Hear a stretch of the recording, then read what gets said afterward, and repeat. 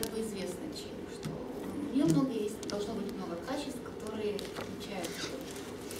То есть э, как быть доброй, нежной, не агрессивной, быть красивой, особенным образом одеваться, вот. быть скромной, быть хозяйственной, это все признаки женственности, которые женщины отличают от мужчин. Вот. Быть неконфликтной, ну вот мы это как бы все знаем. Что идеальная женщина такая домохозяйка, которая заботится о своей семье, о своем муже, о детях, у которой интересы не выходят за пределы вот этой семьи. Вот. Ну, для мужчин почему-то наоборот. Считается, что семья это дело второстепенное, и это как бы должно мотивировать женщин еще более охотиться за мужчинами. Ну вот идеала такого не бывает, чтобы женщина раз и соответствовала всем этим качествам. Все равно что-то будет не так. Вот, допустим, хорошая хозяйка, она может быть иногда злой, а девушка, допустим, красивая, которая одевается женственно и красится. Она может проявлять способности к техническим наукам, которые тоже у нас женственными не считаются, и даже демонстрировать их до тех пор, пока ее окружение ее не, не сподвигнет на истинный путь, э, путь замужа, поисков жениха. Ну вот, такая вот ситуация у нас сейчас есть, то есть так все люди размышляют, это в принципе общепринятые вещи. Мы посмотрим немножко, как это было в истории, как это развивалось. Я сейчас приведу несколько интересных фактов исторических, зачитаю их. Вот, вплоть до 17 века считалось, что женщины не способны длительной монотонной работе, требующей усидчивости, высокой концентрации внимания. Из этих соображений в 1612 году пражские чулочники громогласно заявляли, что никогда у них не будет работать ни одна женщина, потому что женщина не справится с столь трудоемким процессом, как вязание. Вот так вот считали в 17 веке. Вот. Или, к примеру, слезы. Как это не парадоксально звучит, но раньше они считались признаком мужественности. Ревели многие герои, настоящие и мифические. Геракл, Биовульф, средневековые рыцари, самураи. Орошали мужественными слезами землю, утирали их суровой металлической кольчугой с влажных глаз и при этом вершили великие подвиги. А сейчас слезы стали неотъемлемым признаком женственности. Вот так вот изменилась наша природа. Розовом и голубом цвете. Вот. Ни для кого не секрет, что раньше, с 1918 по примерно 1940, ну, пораньше, но все равно. Вот, розовый считался мальчиковым цветом, а голубой девочковым. Вот. А до этого момента люди не делили цвета на женские и мужские.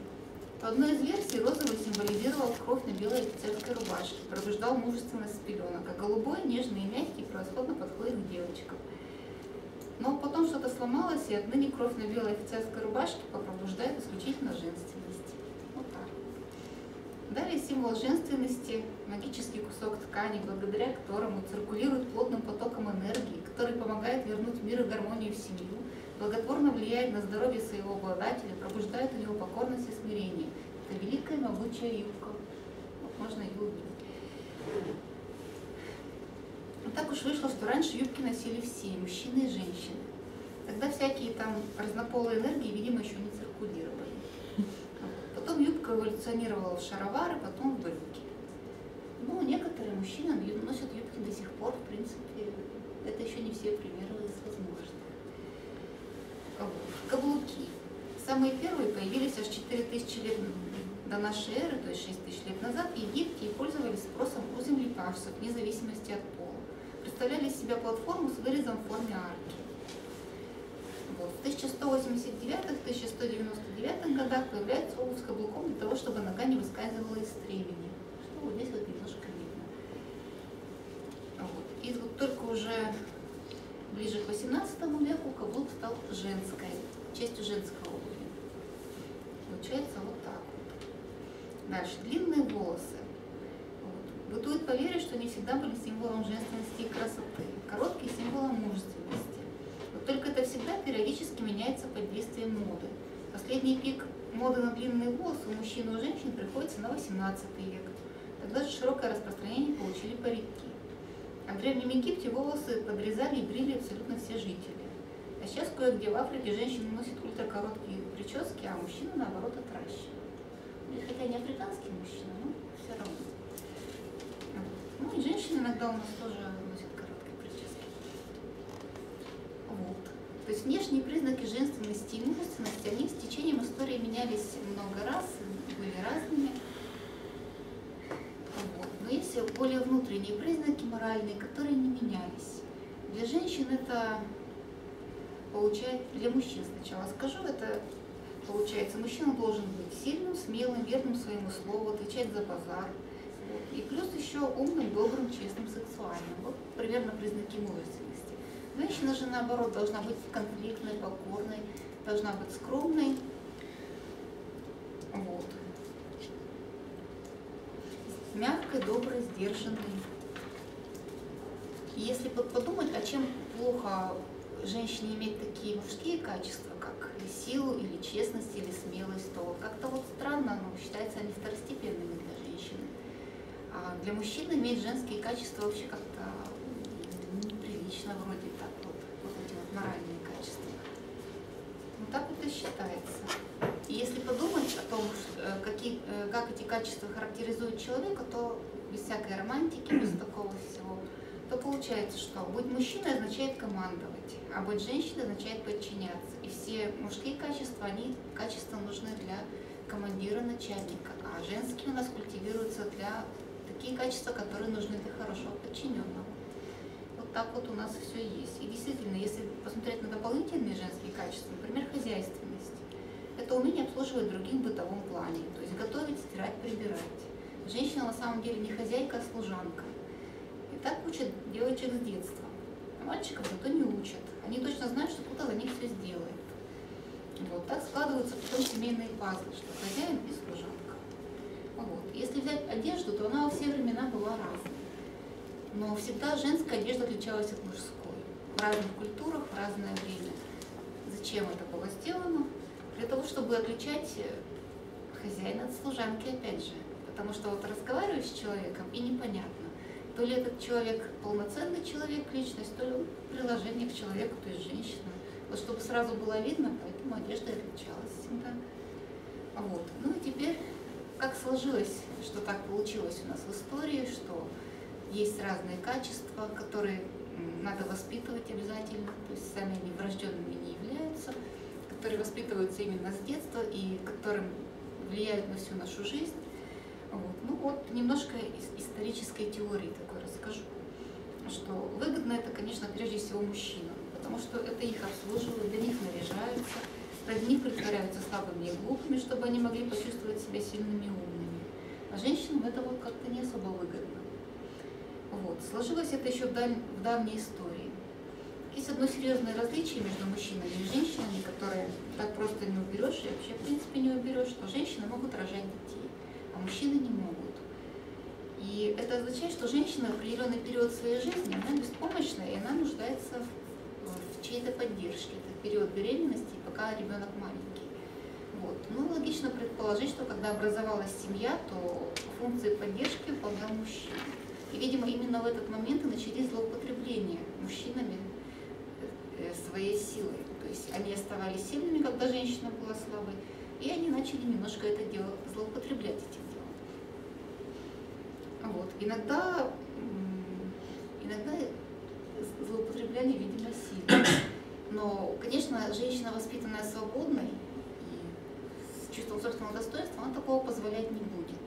Поэтому постепенно, видимо, так сложилось в обществе, что начали воспитывать девочек изначально, как служанок, как второстепенный пол, вот, э, которые должны только обслуживать мужчин, потому что они слабые, потому что они глупые, потому что они ничего сами без мужчин не могут. Это культивировалось, получается, много тысяч лет. Это девочек так воспитывали с детства. И сейчас это считается как бы, ну вот, но по умолчанию так оно и есть. Вот. Несмотря на то, что есть практические примеры, их много, что женщина спокойно выживает одна без мужчины.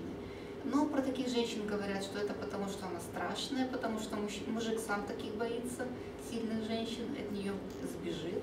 Вот. Она на самом деле несчастна, потому что она не может выполнить свое предназначение. И очень сложно такой женщине потом доказать, что на самом деле она счастлива, если вдруг она захочет это доказать. Вот. Ну и поскольку вот модель такая в обществе закрепилась, то закрепилась она и не только в семье, но и в законах. И получается, что женщины не имели права ни на образование, ни на собственную карьеру, ни на какую-то самостоятельность. И все, что им оставалось делать, это соответствовать вот этим, вот этим признакам женственности, таким как покорность, и миролюбие, и умение обслуживать. И вот так вот, э, и для них считалось счастьем найти себе хорошего покровителя. То есть главное выйти замуж. Оно пошло именно оттуда. Вот, и действительно, долгое время выхода не было. Ну, примерно 200 лет назад ситуация начала меняться, появились феминистки, немножко понемножку они начали отвоевывать женские права. Где-то 150-100 лет назад женщины смогли получать образование, смогли на практике доказать, что они на самом деле не, не глупее мужчин, многие поумнее, что вполне могут работать и, и вполне добиваться успехов в любой общественной деятельности, не только в семье.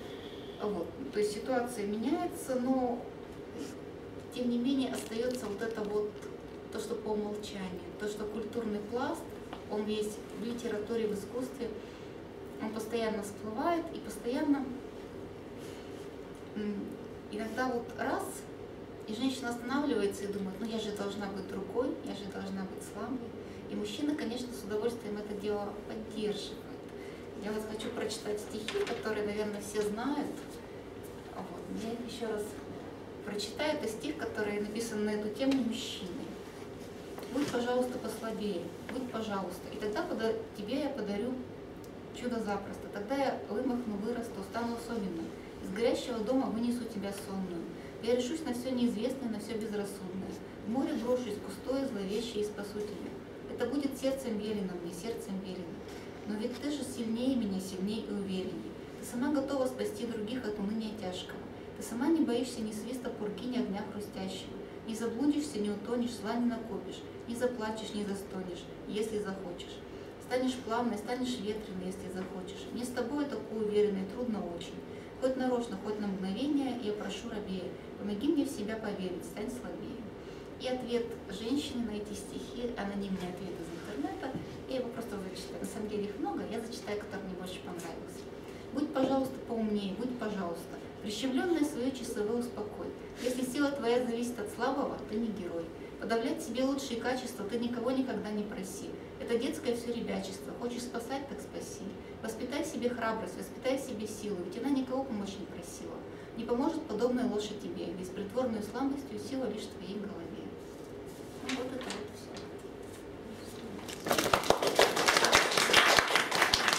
Если есть вопросы, Можно вопрос, да? Э, ну, вот э, то, что эта система как бы самоподдерживающаяся, вот это, ну, это понятно, но в последнее время появились такие сторонники традиционных ценностей, я их назову, и, э, к сожалению, это выдевается в пропаганду на государственном уровне традиционных ценностей. Как по-вашему, в данный момент чего больше? Именно вот этой самоподдерживающей системы или пропаганды сверху каких-то пропорциях? Почему так? Они поддерживают друг друга, одно другое, потому что и пропаганда ложится на уже готовую почву, и получается и почва подготовлена для пропаганды. То есть вот так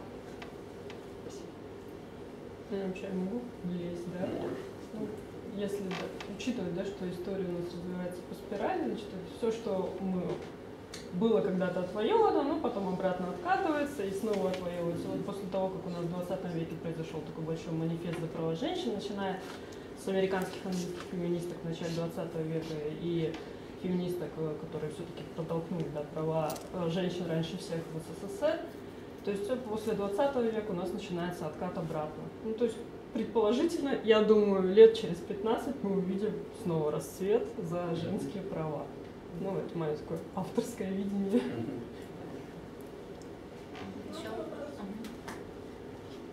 Есть такая проблема, что в основном сами девушки поддерживают эту идею. Да, и сами.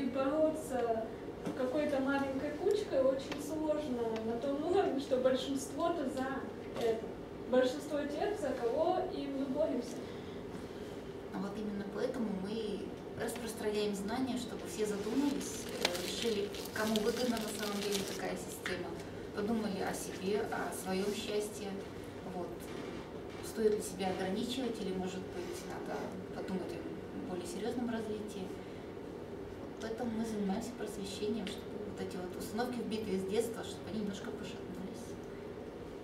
Ну, обычно такие собрания проходят именно те люди, которые изначально уже за те идеи, которые будут на этих собраниях. Но мы И еще... очень тяжело на других. Это тяжело. Но мы еще в интернете работаем и в своем окружении работаем, то есть каждый отдельно со, со своими людьми. То есть вот так вот, ну, больших таких успехов нету, чтобы мы могли митинг собрать 100 человек, 500, но кое-что есть, так что это постепенно придем к этому. То есть нам сейчас нужно, чтобы эта идея неслась в массы, нужно продумать именно эту концепцию, с которой можно пойти в эти массы. Ну, концепция уже есть, их даже несколько есть. То есть каждая выбирает себе, которая больше нравится система. Есть несколько видов феминизма хотя бы. Вот. Есть несколько э, видов э, видения, как оно есть э, по отдельным вопросам. Вот. Каждая выбирает себе и каким-то образом изучает эту точку зрения и распространяет ее. Ну, вот, собственно, здесь организуют в основном радикальные феминистки. Вот такой взгляд. Но есть и другие. То есть напр- ну, для начинающих подходит либеральный феминизм, например. Для совсем начинающих, которые ничего не знают.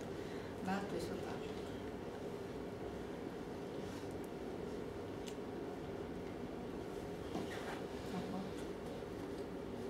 А работа идет на самом деле одновременно по всем направлениям.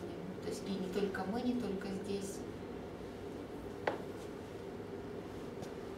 Но это большая работа. То есть э, против нас идет э, вся, все, все искусство в первую очередь, все воспитание, все мировоззрение людей. Но с другой стороны, и у нас есть своя поддержка. Тоже. Хотя бы здравый смысл нас поддерживает.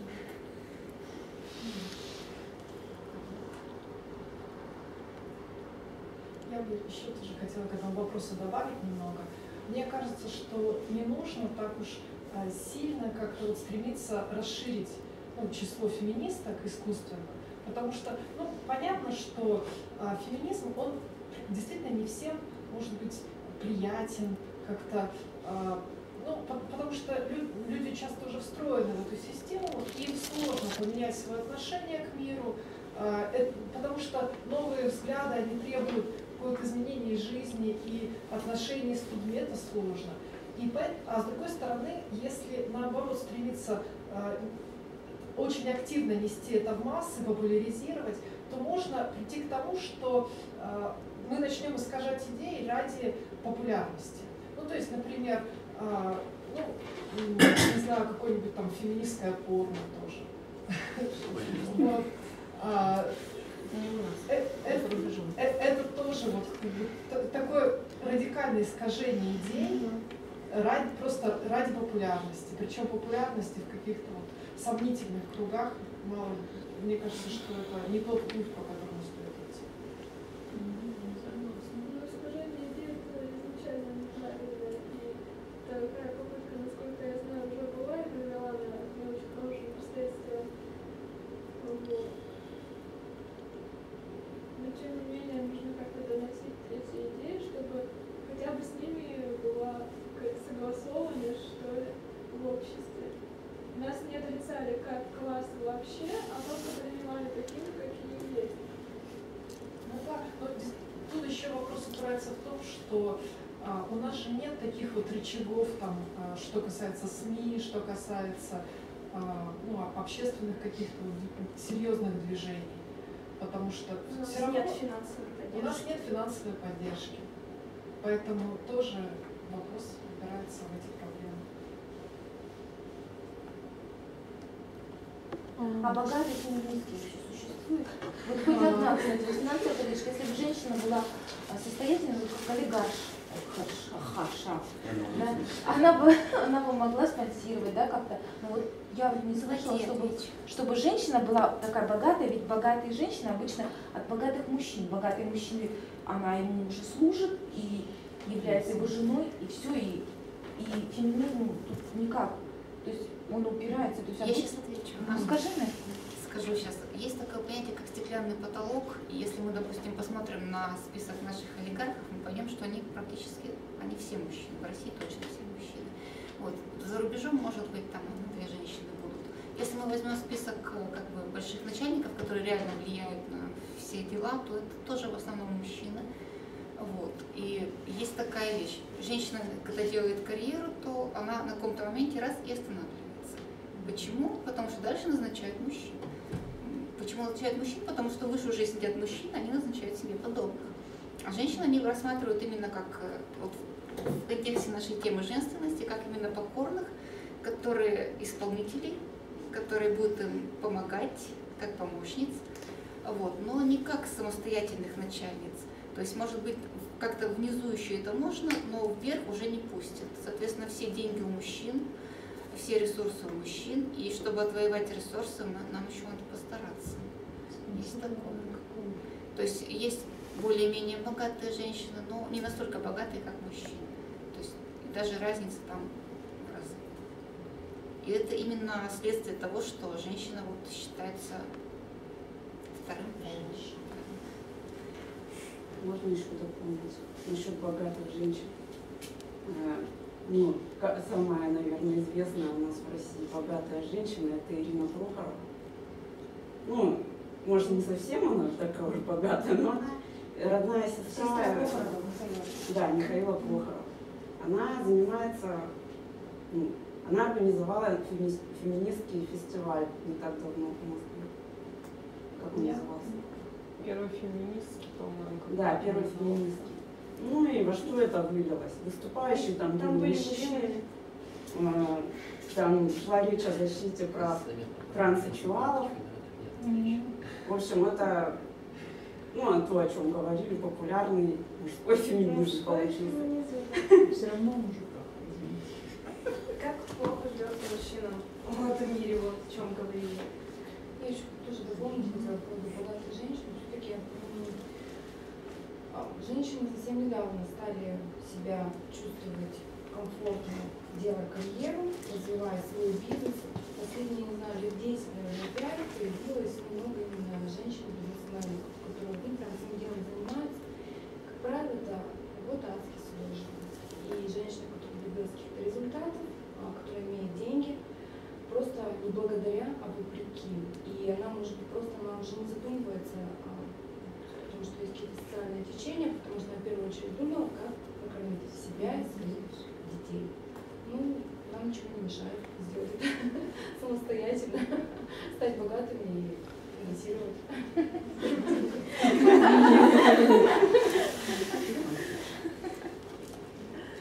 Также хотел сказать, ну, во-первых, для термина бизнес-женщина существует бизнес-вумен слово, а во-вторых, э, насчет внесения феминизма в массы, как минимум, в первую очередь, стоило бы а, рассказать каждому о самом термине феминизма, потому что многие считают, что это некоторые агрессивные группы людей, которые стремятся к какой-то анархии, неправильности, а, искоренению всех культурных ценностей, которые окружают обычных людей. Вот.